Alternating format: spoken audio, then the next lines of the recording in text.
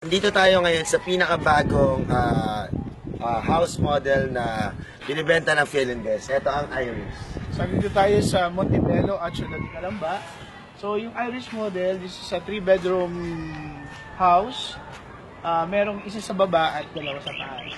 So, ang theme ng bahay dito is Modern Asian.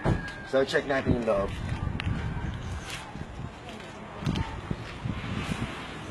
Actually, maganda to. Maganda pala pagka Modern Asian.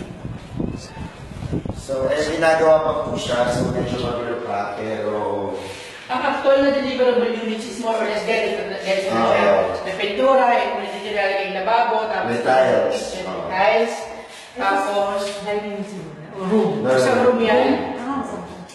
Yan. one. Yan, yan. Maganda. Nagkaroon ng fireworks. At saka makikita niyo siya, yung door niya, hindi na yung yung one. Sliding na yung lang sa harapan. Na talaga siya. Malalaki yung windows. Tsaka maliwalas talaga siya. Tapos ang maganda sa nakita natin dito, sa bago sa bagong bahay na to, is meron siyang stock room. Stock room. Na-maximize talaga yung space. Ayan ang May stock room, and sa tapat niya is yung ating toilet. ating toilet and bath. Buhos din siya, no? Mm-mm, buhos, buhos din siya. So, check natin. Ah, check natin. Para makita natin yung loob. pakita natin yung taas. Pwede na. Yan.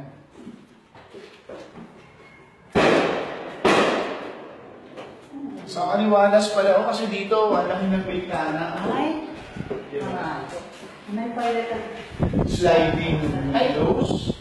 Sobrang luwag ang aliwalas niya, no? Kung makita mo yung bintana, laki ang sobrang luwag niya. Mula rito hanggang dito, oh. Ganyan siya kalaki yung bintana. So, syempre, wala yung pagpaliwalas. So, uh, conserve, ah, Nagawa pa lang pero kita na natin yung ganda niya. Tapos meron pa isang banyo. May common toilet. With shower. So ito naman yung ano, Second bedroom 2.